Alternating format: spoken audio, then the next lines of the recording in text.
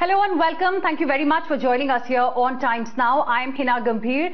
Uh, slowly, as the uh, COVID case count on a daily basis has started coming down, several states and union territories will also start the unlocking phase very soon. In fact, Delhi Chief Minister Arvind Kejriwal today announced that from Monday onwards, slowly and gradually, the unlocking phase is going to begin. Over the next 30 minutes, we are going to discuss the economic impact of the kind of lockdown that most parts parts of the country were into. Some are still under lockdown and uh, how it is really going to impact uh, various sectors, how it has impacted and what is it that the government can really do to help it come back on its feet when the unlocking process begins. In fact, Corona literally in the second wave has brought India to its knees. The economic recovery that started uh, showing results, uh, we saw some good macro data as well in January, February all of that got derailed because of this sudden spike in COVID cases uh, in the second wave. In fact, Prime Minister Narendra Modi as well a couple of days ago mentioned that economic impact is huge of this pandemic and the world of course is not going to be the same place uh, even when the virus starts going away and it has taken away jobs and it has impacted demand too. So is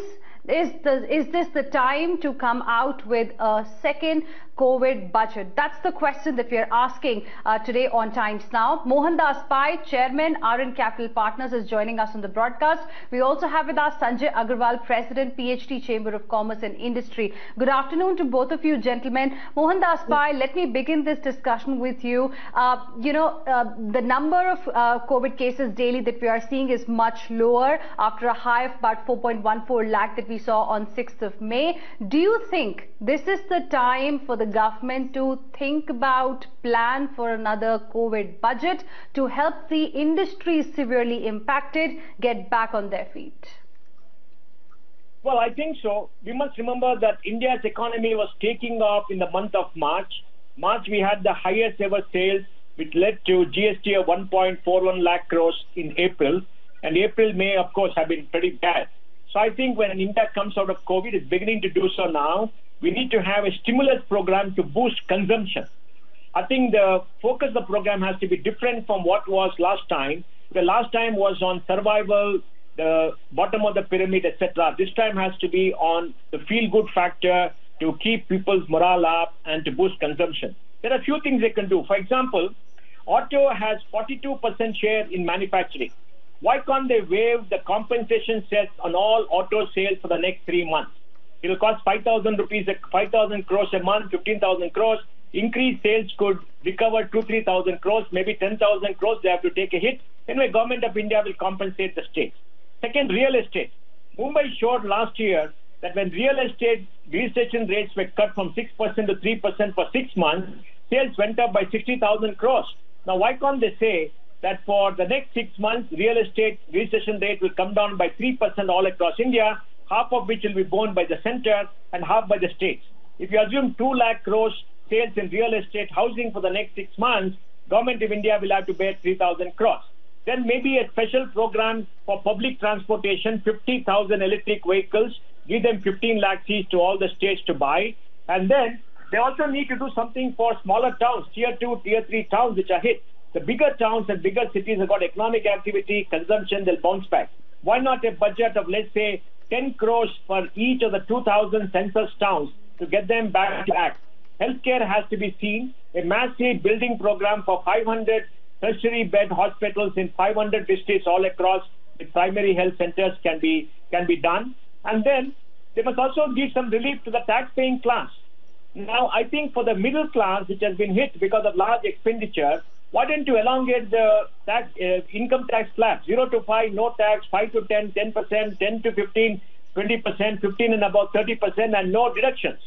And there, to uh, make sure that unlisted companies get primary investment, because large amount of investment in the MSMEs unlisted companies, reduce the capital gains tax on sale of shares in unlisted companies from 20% of, and 38% surcharge to maybe, let us say, 10% and 10.5% surcharge, like for uh, listed companies. And why don't you increase the deduction for 80G to 25% of gross total income so that people who are given money benefit?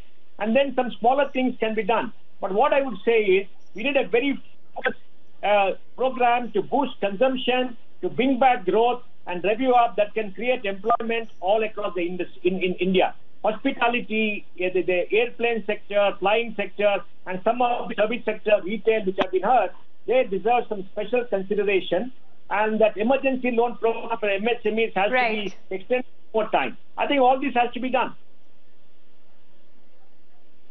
All right, well, that's a long list, a long wish list, in fact, Mr. Mohandas Pai, that you shared with us.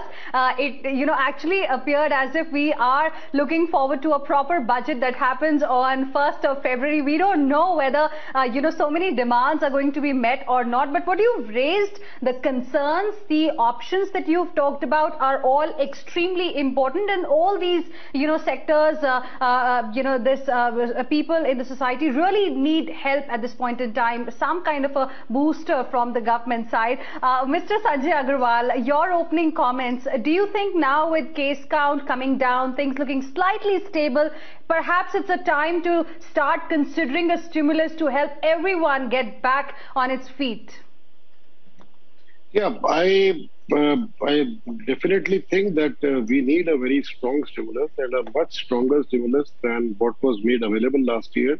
In any case, the the trouble that the economy has faced is definitely going to be bigger this year compared to what we faced last year. Last year, we had uh, two months of difficulty, April and May, which was more or less a total lockdown.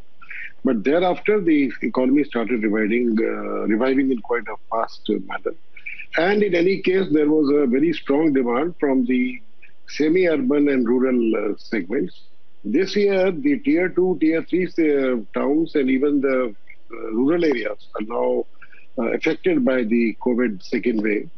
And that has affected the economy in ma- many complex ways, which include, of course, Mr. Mohandas has extensively talked about uh, reviving the demand, and for which the sentiment also needs to be improved. And I all, agree with almost all the suggestions that he has just now made. But we also need to keep, keep in mind certain more factors. For example, the uh, uh, the sort of difficulties that an enterprise, especially an MSME, that is being faced today. Let us list out what the issues, and then we can understand what are the solutions.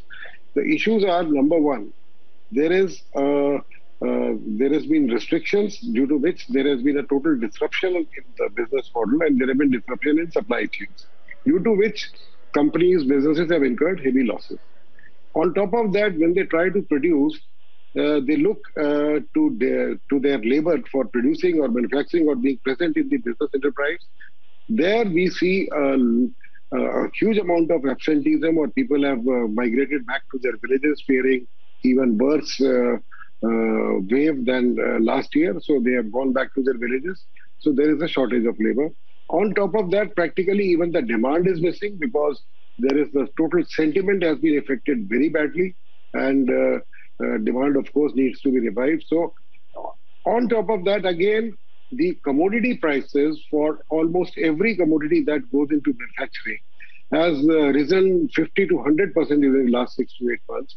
Whether it be steel, whether it be plastics, copper, aluminium, wood, paper, anything, anything that goes into production has gone up by 50 to 100 percent. And there again, we need to take some very strong proactive steps, uh, which I'll come to in a moment.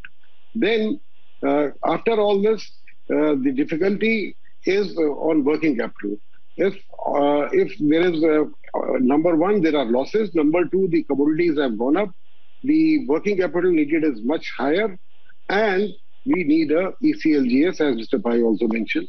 That ECLGS of 3 lakh crore last year needs to be immediately doubled to ensure that the small industry gets it, and at the same time ensure that the taps that took a lot of time uh, getting into full flow last year should be opened much more expeditiously. Otherwise, the industry is going to be hit very badly. 6 lakh crore is the minimum they should take it up to. Secondly, the repayment schedules and the interest rates, they have to be looked into very carefully. If you are going Right. to demand repayments uh, in a fast pace, again, the same uh, enterprise to whom which you are giving more support is going to be in a problem. So, customs duties. When a raw material price, when steel, copper, something has gone up by 40, 50%, what is the rationale behind giving these large units, which are showing bumper profits in the stock markets, are, are rising and rising only on the hmm. strength of these primary producers? Why should we have customs duties? At least till the such time as the, the price increases more than 50% uh, of previous year's level. So customs duties should immediately be removed. In any right. case, imports are not happening. But these people, these primary producers, are exporting at the expense of Indian downstream sector and. So these are the other things that need to be taken care of, including the repayment schedules. Hmm. All right, uh, Mr. Mohan Das Pai and uh, Mr. Sanjay Aggarwal, appreciate both of you for joining us and sharing with our viewers uh, the things that the government can really consider at this point in time uh, to help the economy because now uh, uh, with the impact of second wave of COVID that we've seen, the growth projections have also started seeing a downgrade. thank you very much for the moment, both of you, for joining us. Heading into a short break right now. More news and updates on the other side. Stay with us.